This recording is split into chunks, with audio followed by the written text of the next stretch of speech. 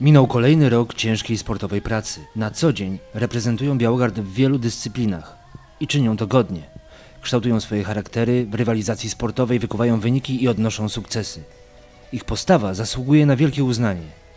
Ich dokonania napawają dumą. Burmistrz Białogardu na Białogardzkiej Gali Sportu wyróżnił i nagrodził Białogardzkie Środowisko Sportowe. Impreza odbyła się 17 listopada w Centrum Kultury i Spotkań Europejskich.